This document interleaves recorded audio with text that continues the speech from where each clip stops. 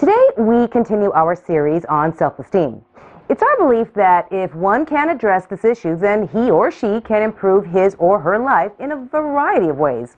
We're glad to see that so many of you in the PanicAttackRecovery.com community have enjoyed this series. Today, we discuss another suggestion that has proven helpful for many people. PanicAttackRecovery.com Hi, I'm Lynette from PanicAttackRecovery.com. As mentioned previously in this series on self-esteem, we're making suggestions that many viewers have found helpful, but these aren't always activities that come to mind when thinking about self-esteem. This is because the solution is somewhat elusive, but there also may be various ways that one might be able to improve their self-esteem. What we can tell you is that many subscribers in the community have embraced these suggestions.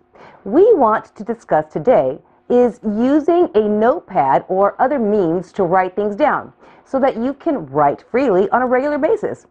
One of the things that happens to anxiety and ADHD sufferers in particular is that they may have a great deal of thoughts going on at once. They become overwhelmed and anxious. There's a great TED Talk called Making ADHD Your Superpower by George Ceci, which discusses this idea, and we really liked it. The concept is simple. Whenever you have a feeling of overwhelm or a number of racing thoughts, pick up a pen and start writing. Eventually, you'll notice that your urge to keep writing stops.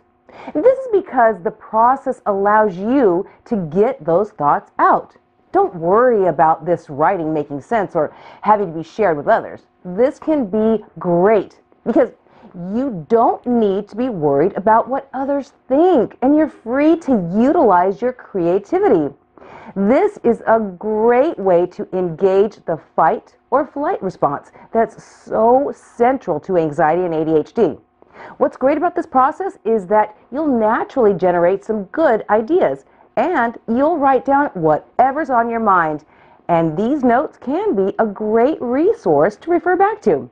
When you see that your thoughts can be creative and you can naturally come up with good ideas at times, you start to feel better about that feeling of overwhelm because you know what to do with it. You also boost your self-esteem because you can feel a sense of accomplishment.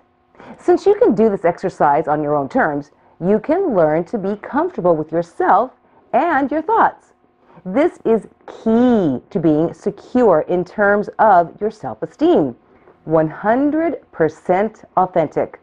The real trick is to carry this on a regular basis.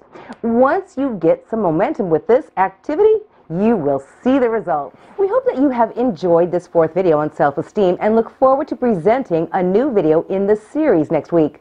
To make sure that you don't miss out on any of our content, please click on the card on the upper right corner of this video and subscribe to our free newsletter.